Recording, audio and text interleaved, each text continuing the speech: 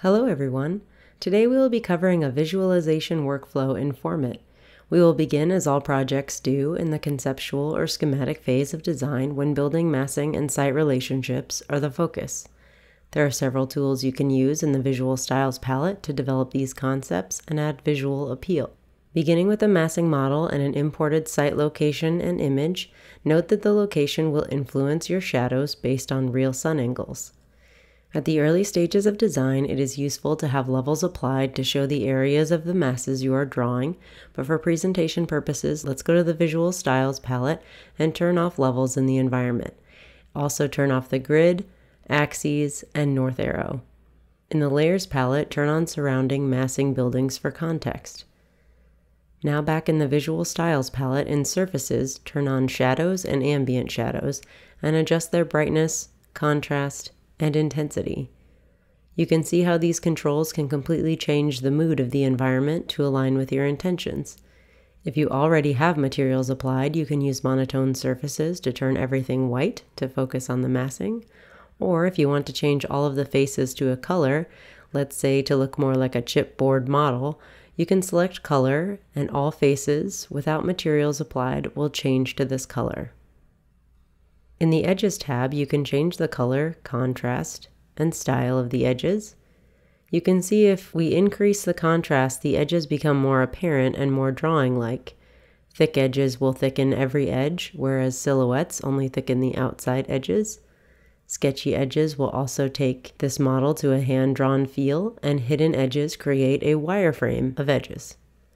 Notice that the hidden edges will not take on the thick or sketchy qualities to help keep the viewer's focus on the foreground, but they will create extended edges to unify the view.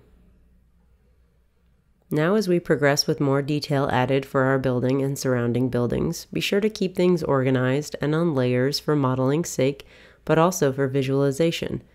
If we turn on the detail layers of the structures and keep the massing on, we can achieve some contextual support of the design. If we now turn on monotone surfaces with ambient shadows, the view begins to give a feel for the scale and relationships between buildings. As the interiors of the buildings become more developed, we can turn off the massing layers and check on only hidden edges.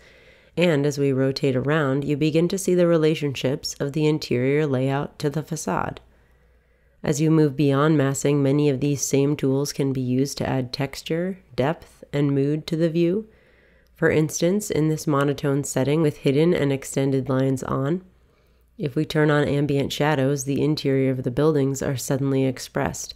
And if we turn off hidden edges and extended edges, the view becomes more realistic rather than sketch-like.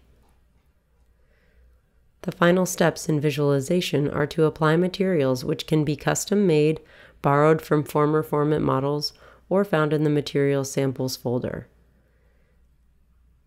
If we go to the Environment tab, the environment colors can be useful when setting up scenes and animation.